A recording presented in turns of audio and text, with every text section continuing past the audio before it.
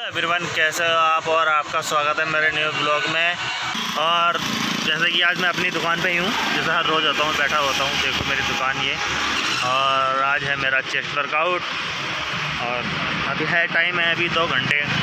दो घंटे बाद अभी प्रिपेयर करना है डाइट वगैरह लेनी है तो आज है मेरा चेस्ट वर्कआउट और मिलते हैं शाम को जिम में। तो अभी अभी मैं आपके घर आया हूँ। तो घर आके भी सामान रखा है और छोटी बहन ने ये आलू वाले, इसे मैड करके खाएँगे दही में, क्योंकि थोड़ा कार्ब लोड करना है ना वर्कआउट से पहले। तो कार्ब लोड करना ही बहुत ज़रूरी होता है, जैसे कि हमें गुरुजी ने बताया है, और एग भी उबल रहे हैं। तो चलते हैं अभी जिम मिलते हैं जिम में चेस्ट की ट्रेनिंग के साथ। और ये हमारा कमरा है, जिसे कि मैं रेंट पर रहता हूँ। देख लो, ये कमरे, छोटे से कमरे में मेरी फैमिली रहती है।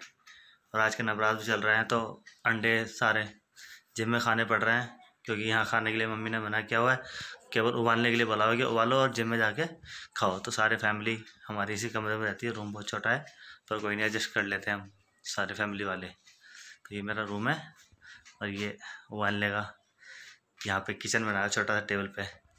तो अभी अंडे लेने गई है, छोटी सिस्टर अंडे उबाल के, थोड़ा काब लोड करके और दो ब्राउन ब्रेड खा के सीधा जिम मिलते हैं जिम में, चेट वर्कआउट के साथ।